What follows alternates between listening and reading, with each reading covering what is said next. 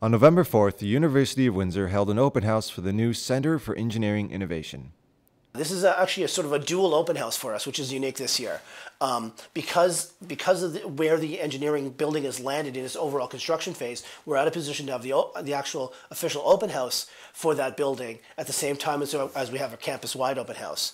So what we're doing is taking advantage of that, not only to show prospective students and their parents, but also as a full community open house. So for the media, for politicians, bringing in members of, of, of industry and so forth, as a sort of even a, a broader open house than we normally would never have.